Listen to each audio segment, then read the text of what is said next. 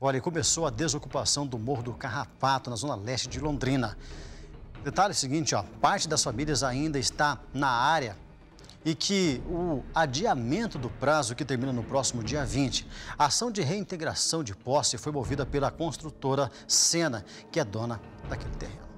Em outubro, 42 famílias que ocupavam o Morro do Carrapato foram notificadas que deveriam desocupar a área.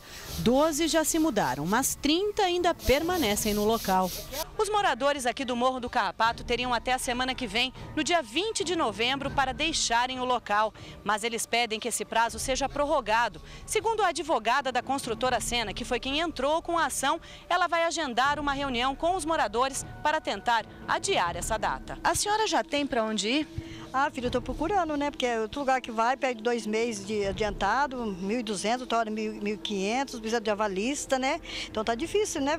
Casa para alugar.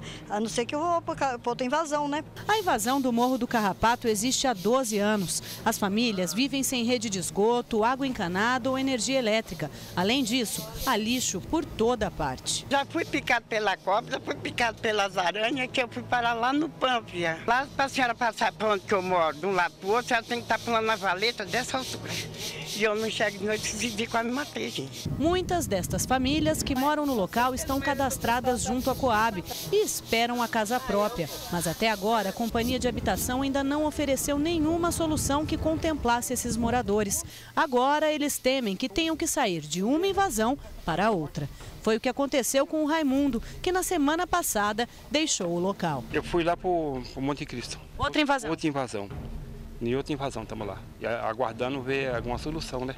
O senhor já, o senhor está inscrito na Coab? Eu não tenho, não tenho nome na Coab, mas meu neto tem o cadastro, estamos aguardando. E ele mora com o senhor? Ele mora comigo. Agora está noutra invasão lá embaixo também, mas ele vai ficar comigo. Sempre estou acompanhando ele para ver se ele pega a casa. Além de prorrogar o prazo da Justiça para desocupar a área, a população espera uma resposta da Coab. A promessa é que todo lugar diz que ia mandar nós. Ia mandar para São Jorge, não mandou. Ia para Vista Bela, não foi. Ia lá para União, não. Agora chegou esse mandado para nós e o prazo está vencendo terça-feira. Eu fico só imaginando só o desespero dessas pessoas, né?